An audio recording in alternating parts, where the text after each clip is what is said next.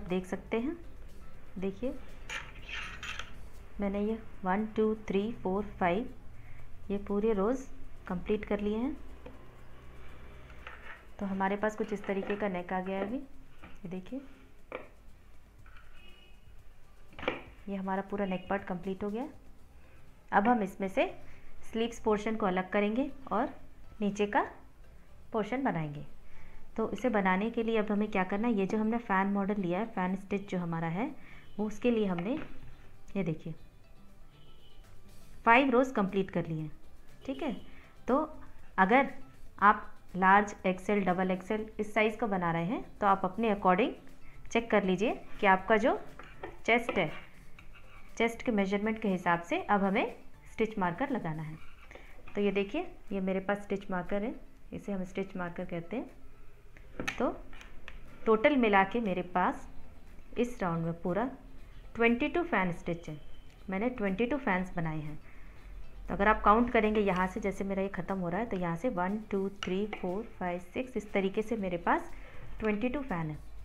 तो मैं अब इस तरीके से डिवाइड कर रही हूँ कि मेरा चेस्ट का मेज़रमेंट मेरी डॉटर के हिसाब से आ जाए। तो इसके लिए मैंने क्या किया है अभी? ये देखिए।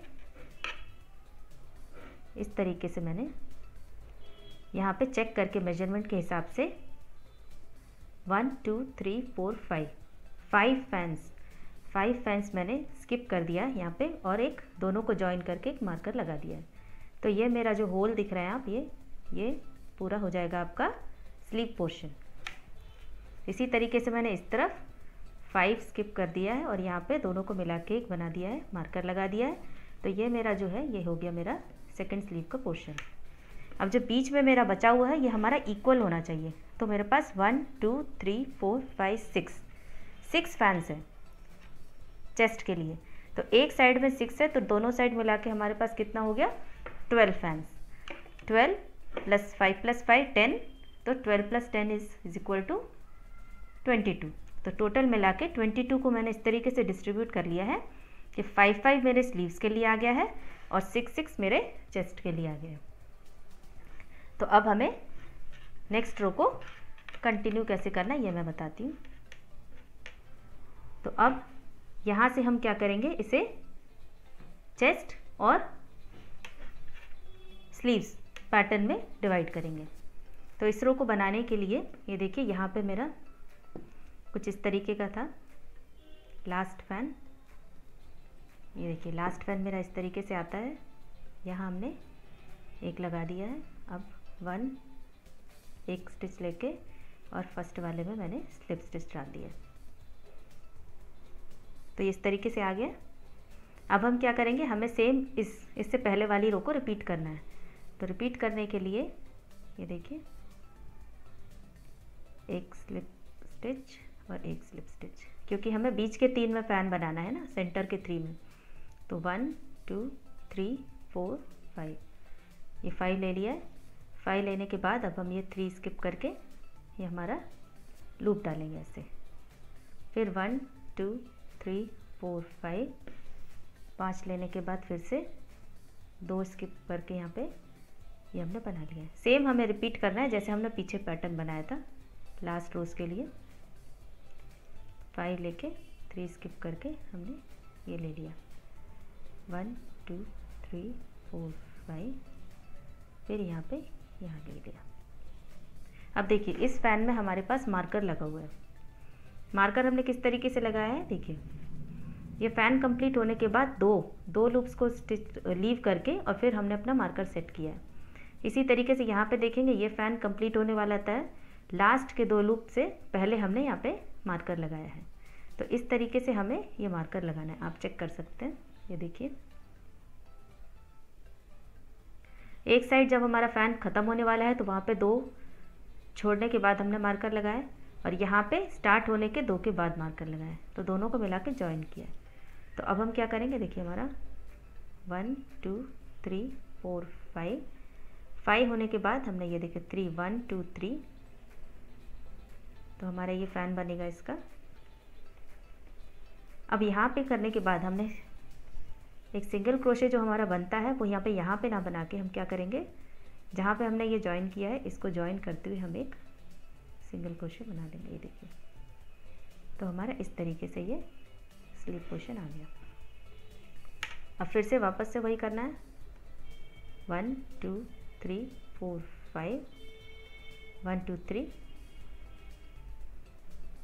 और one two three four five फिर दो लीव करके और वापस से कंटिन्यू करना है। तो अगर आप, आपको लगता है कि आपका ये पोर्शन छोटा है तो जैसे मैंने यहाँ पे सिर्फ़ सिंगल क्रोशे बनाया है, आप सिंगल क्रोशे ना करके फाइव फाइव के मल्टीपल्स में, जैसे हमने यहाँ पे स्टार्टिंग में स्टिचेस लिए थे, पाँच पाँच के मल्टीपल में तो आप फाइव के मल्टीपल्स में यहाँ पे एक्स्ट्रा डाल सकते हैं। तो अगर आपका बीच में ये छोटा आ रहा है, ये पोर्शन कवर नहीं कर रहा है तो आप यहाँ पे एक की जगह पाँच डालिए। पाँच की जगह दस डालिए, पंद्रह डालिए। तो इस तरीके से आपका ये पोर्शन बढ़ेगा और आपका चेस्ट का पोर्शन भी बढ़ेगा।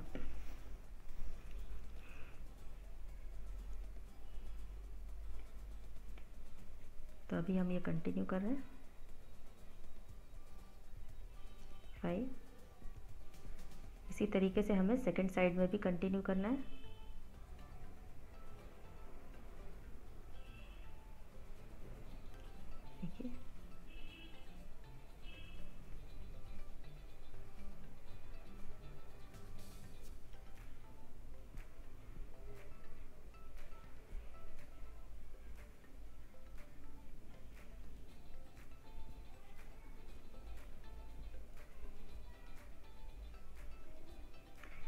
ये पूरा जो टॉप है, मैं एक ही कलर से यूज़ करके बना रही हूँ। जैसे मेरे पास ये सी ग्रीन कलर है। अगर आप चाहें तो इसे दो अलग अलग कलर डिफरेंट कलर से भी बना सकते हैं। जैसा फ़र्स्ट रो फ़ैन का एक दूसरे कलर से है सेकेंड फ़ैन दूसरे कलर से है। फिर उनको ऑल्टरनेटिवली रिपीट करके। वो भी काफ़ी अच्छा लगता है।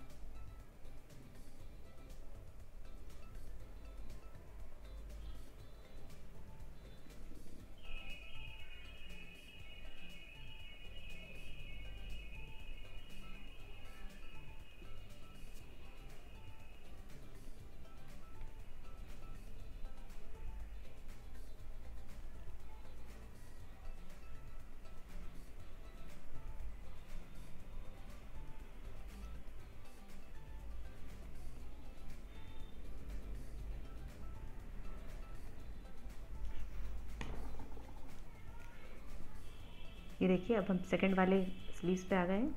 ये तीन कंप्लीट करेंगे यहाँ पे।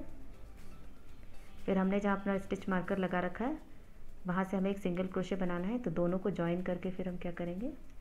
ये हमारा एक सिंगल क्रोशे बन गया। और फिर से पाँच। फिर सेम हमें वही रिपीट करना है।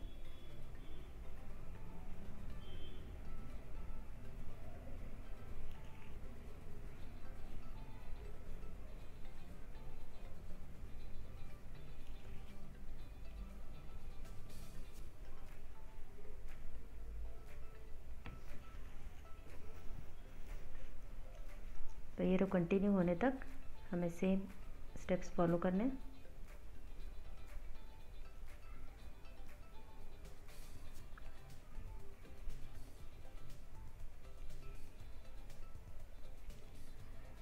ये देखिए लास्ट में आ गए हम।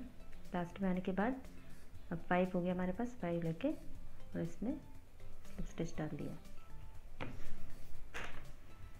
तो ये देखिए, मैं ये मार्कर हटा देती हूँ। तो आपको समझ आएगा देखिए, मैंने स्टिच मार्कर हटा दिया।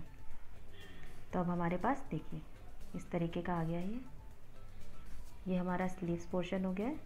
ये वाला, ये स्लीव ये स्लीव और ये पास हमारे पास जो है, ये हमारा चेस्ट पोर्शन आ गया ये। अब नेक्स्ट रो हमें सेम ये फ़ैन बनाना है नेक्स्ट रो में। तो फ़ैन बनाने के लिए, जैसा कि आपको पता ही है, हम क्या करेंगे?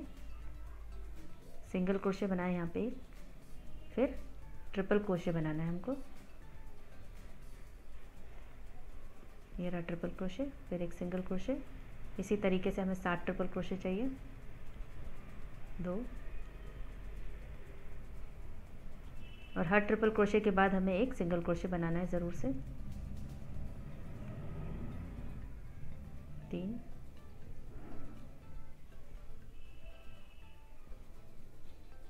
चार। पाँच।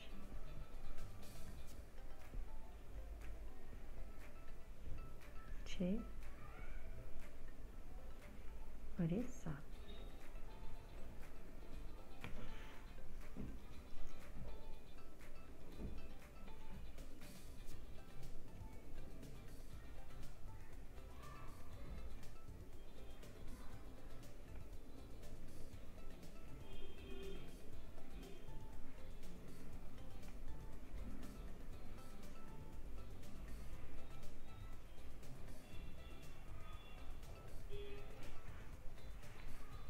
बस इसी तरीके से हमें ये पूरा रो कंप्लीट करना है।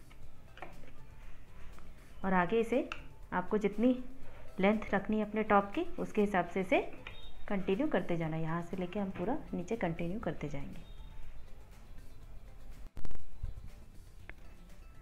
तो देखिए दोस्तों, मेरा ये टॉप कंप्लीट हो गया है। ये देखिए, ये इसका नेक पार्ट है। यहाँ इसके ये स्लीव्स हैं। ये देखिए। ये इसका चेस्ट पोर्शन है। और ये इसकी लेंथ है। ये देखिए, ये डाउन पोर्शन है। तो मैंने इसे शॉर्ट टॉप बनाया है। अगर आप चाहें तो इसे लॉन्ग टॉप भी बना सकते हैं। ये डिज़ाइन काफ़ी सुंदर लगता है। तो इस तरीके से हमारा ये टॉप तैयार हो गया है।